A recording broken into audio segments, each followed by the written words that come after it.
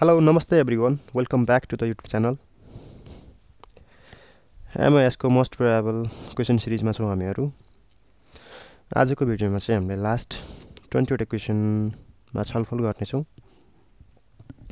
यसभन्दा अगाडिका दुईवटा पार्टहरूमा पार्ट वान र पार्ट टू गरेर क्वेसन नम्बर वानदेखि क्वेसन नम्बर सिक्सटीसम्म हामीहरूले छलफल गरेका थियौँ भने आजको यस भिडियोमा चाहिँ मोस्ट प्रोभाबल ट्वेन्टीवटा क्वेसन बिसवटा क्वेसन क्वेसन नम्बर सिक्सटी वानदेखि क्वेसन नम्बर एट्टीसम्म हामीहरू विशेष छलफल गर्नेछौँ।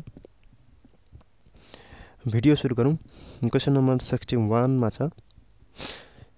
Assembly supported beam with uniformly distributed load throughout the span experienced maximum shear force at एउटा सिम्पली सपोर्टेड बेममा चाहिँ युडिएल फोर्स लगाइयो भने त्यस्तो अवस्थामा त्यस सिम्पली सपोर्टेड बिएमले चाहिँ म्याक्सिमम् सेयर फोर्स कहाँनिर एक्सपिरियन्स गर्छ भन्ने प्रश्न हो।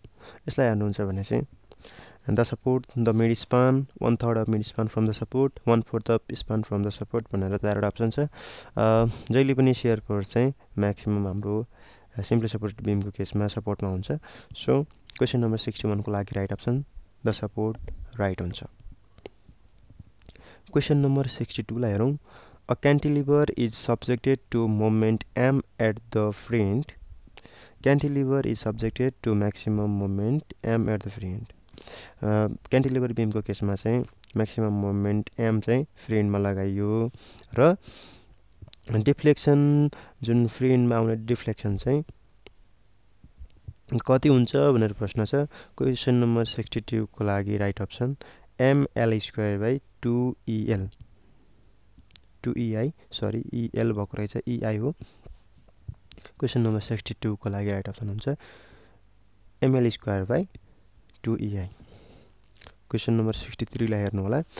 In a beam where shear force change sign the bending movement will be एउटा बिममा चाहिँ सेयर फोर्सले जुन साइन चेन्ज गर्ने पोइन्ट हुन्छ त्यस पोइन्टमा चाहिँ बेन्डिङ मुभमेन्ट कति हुन्छ भनेर प्रश्न छ। यसलाई हेर्नु पर्दाखेरि चाहिँ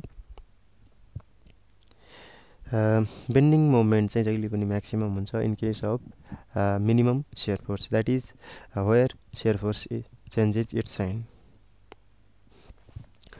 in point of flexure the magnitude of shear force is भनेर प्रश्न छ। सेयर फोर्सको म्याग्निच्युड चाहिँ पोइन्ट अफ कन्ट्राफ्लेक्चर हुनुपर्ने हो। कन्ट्राफ्लेक्चरमा कति हुन्छ भन्ने खोजेको छ।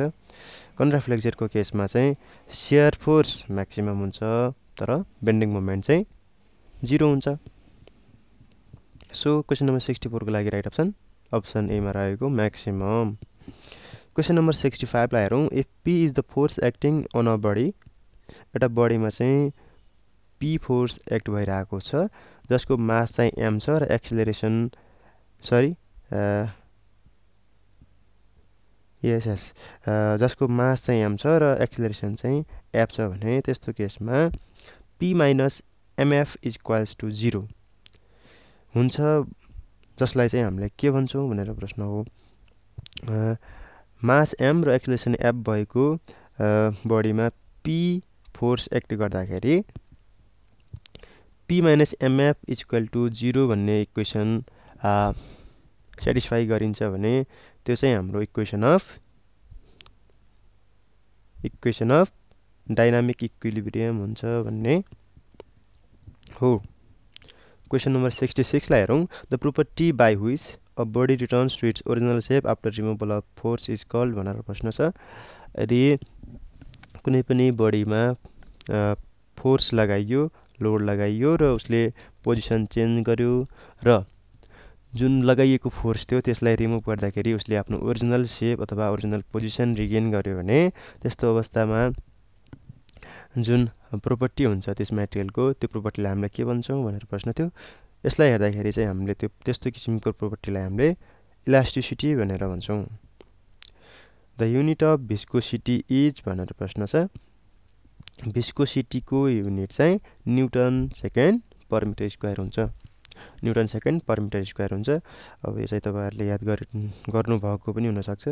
गर्नुभएको छैन भने याद गर्नु होला। Newton second per metre square भिस्कोसिटीको unit हुने गर्छ।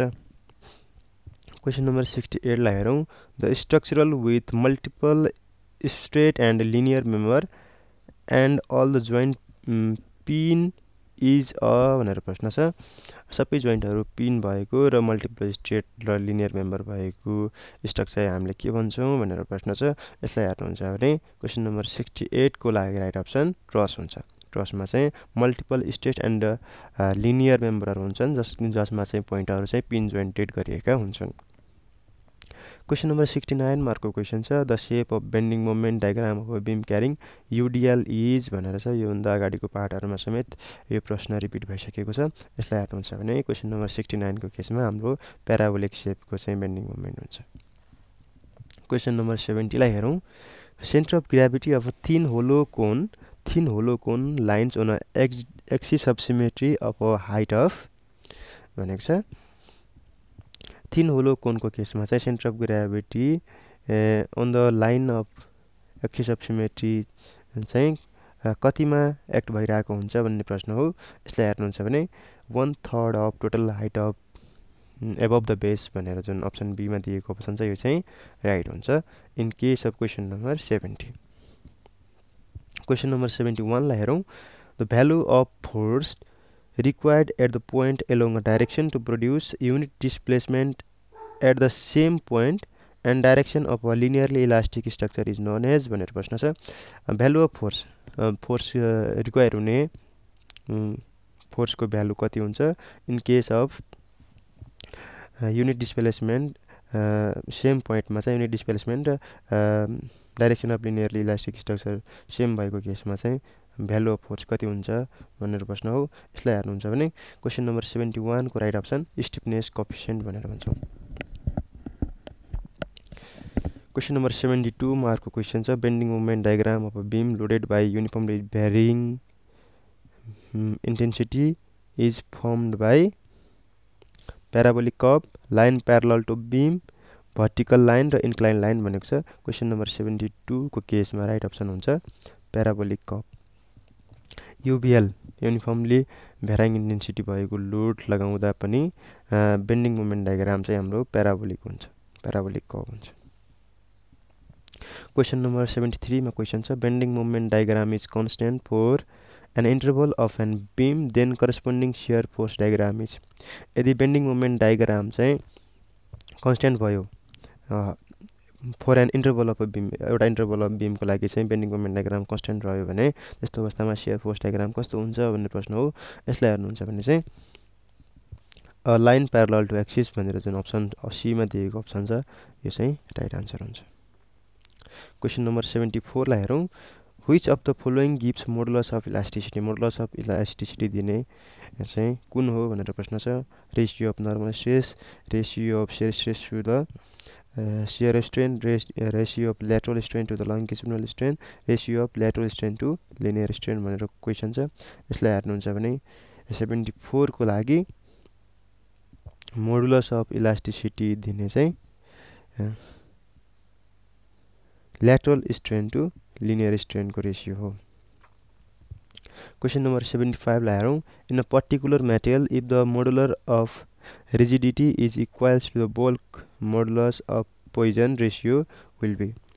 Particular मेटेरियलको केसमा चाहिँ मोडुलर अफ रिजिड रिजिडिटी चाहिँ बल्क मोडुलरसँग इक्वाइल भयो भने पोइजन रेसियो चाहिँ कति हुन्छ भनेर प्रश्न छ। यसलाई हेर्नुहुन्छ भने यो चाहिँ वान बाई एट हुन्छ।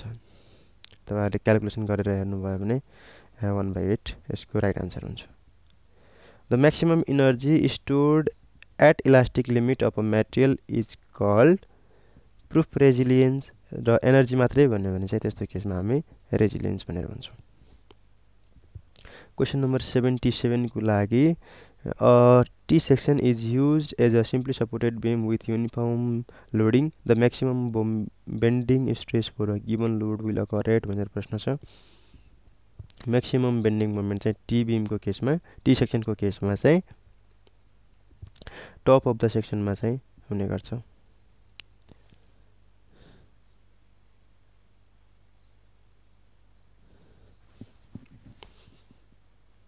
Question number seventy eight हरूँ।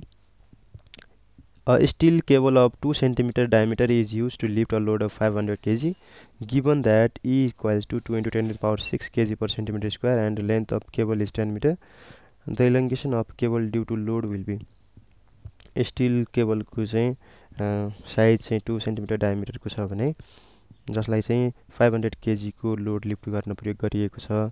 र गिभनमा चाहिँ हाम्रो Young modulus of elasticity is equals to two into ten power six KG per centimetre square and the केबलको length चाहिँ दस मिटर दिएको छ भने यसमा आउने इलोङ्गेसन चाहिँ कति हुन्छ भनेर क्यालकुलेट गर्नुपर्ने छ अब यसमा चाहिँ मैले क्यालकुलेट गर्नलाई त्यस्तो किसिमको पेनहरू युज गर्न सकिरहेको छैन।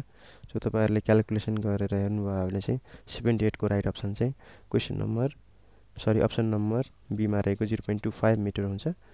तपाईँहरूले क्यालकुलेट गर्न सक्नुहुन्छ। यदि तपाईँहरूलाई आएन भने चाहिँ तपाईँहरूले मलाई पर्सनल म्यासेज गर्न सक्नुहुन्छ।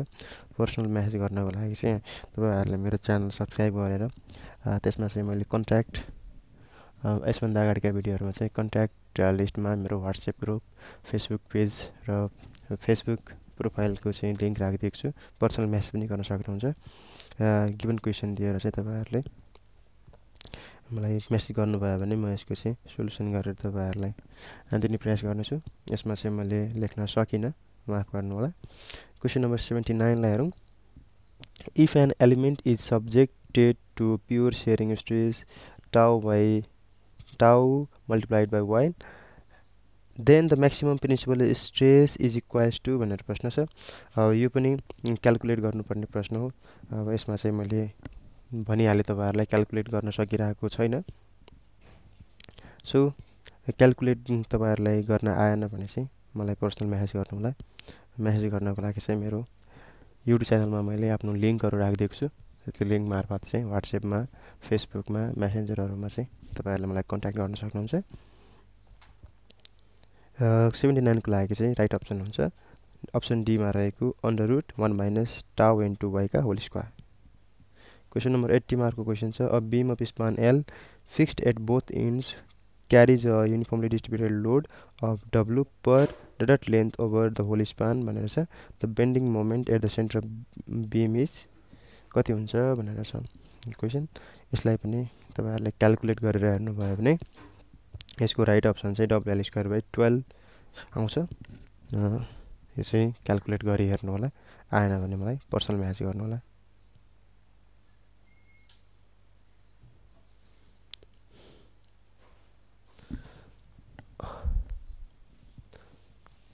Okay viewers good bye and good luck thank you for being my videos will be back with another videos keep in touch with my channel and like this video subscribe my channel and share with your colleagues friends for more updates. Thank you